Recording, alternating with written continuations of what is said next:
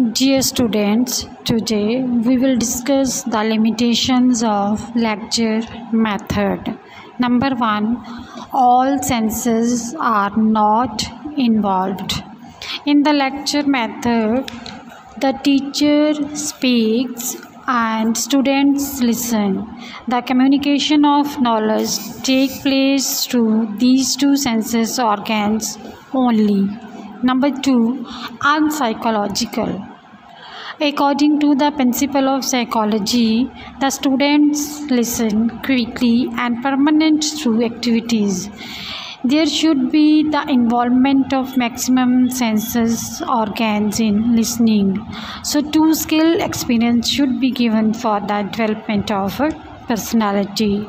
Number third, less students participation. If a good teacher uses the lecture method, even then the students participation is less in this method. Number fourth teacher centered the content matter is collected by the teacher alone and it is presented before the students according to the uh, his own efficiency and capability. So it is not necessary that this presentation will be according to the taste of the students. Number 5 not suitable for all topics. Statistical portion of economics calculation of national income per capita income etc are such topics that cannot be taught uh, reasonably appropriately with the lecture only. Number 6 not suitable for all the teachers to be an expert in lecture method, explanation, description, and narration skills are essential for a teacher. So, apart from this, the knowledge of principle is communication, the knowledge about the principle of psychology, vocabulary, tolerance, power, and softness, etc. Number seventh, not suitable for all students. In the class, the maximum number of students are of average ability and few are above average. This method is appropriate for the gifted students but not for slow learners. Number 8 Wastage of time and energy. If a teacher do not have the depth knowledge of the content, so she even can't stand in the class. So it is necessary to assess more than one source of knowledge which needs time of energy. Next provides indirect knowledge.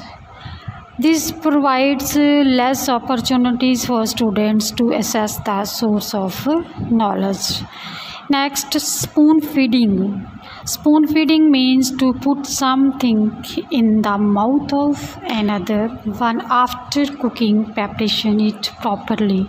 In this method, the teacher after preparing the subject matter properly convey it to the ears of the students. Next, dull and boring. Generally, the teacher elaborate the lecture, but other techniques or skills like that stimulus variation, storytelling, audiovisual aids, etc., are not used. So the lecture becomes dull and boring. Next, encourage cramming. The students already know that the teacher is an expert and is providing the prepared knowledge Therefore, they cram the acquired knowledge without understanding.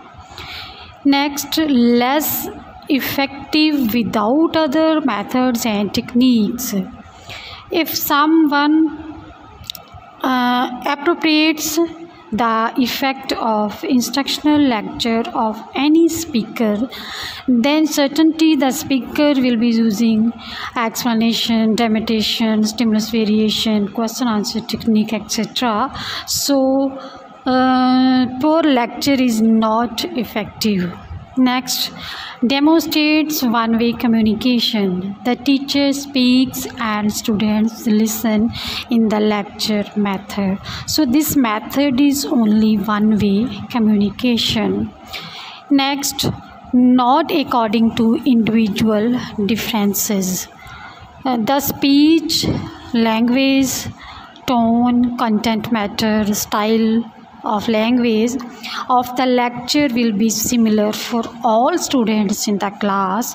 So it is not essential necessary that the vocabulary selected by the teacher is understandable to all students. It may be incomprehensible by one category but not by the other. So after all it is the main limitation of the lecture method that it is an abstract and one-way communication. Thank you.